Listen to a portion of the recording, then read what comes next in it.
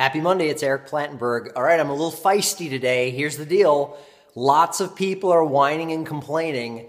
Their career isn't going as well as it should. Their relationships aren't going as well as they should. They don't have the money that they should. Here's the deal you want to fix this? Get clear about what you want and then get it in front of you.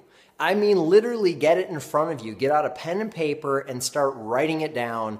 Put it on the fridge. Get out a dry erase marker. Write down your goals on your bathroom mirror. Get out a Sharpie and write them on the, on the glass in your office. I learned this over 20 years ago. I literally used to tape my goals to the steering wheel of my car. Everybody thought that I was nuts. My friends thought that I had joined a cult.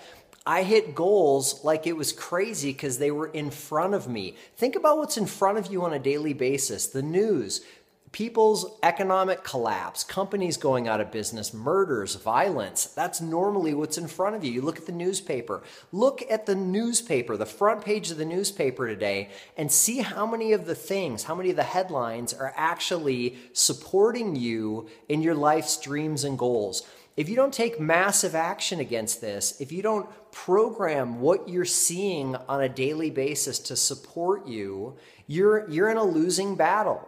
The reason that news is so powerful is because it's emotional. It compels your brain in a way that catches your attention, but it doesn't support you.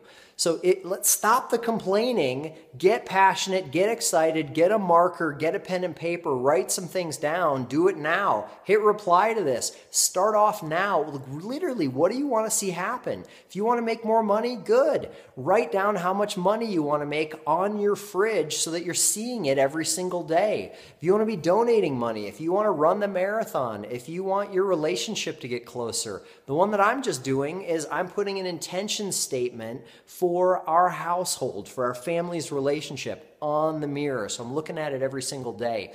Post your, put your weight, put it everywhere. Definitely put it on the fridge.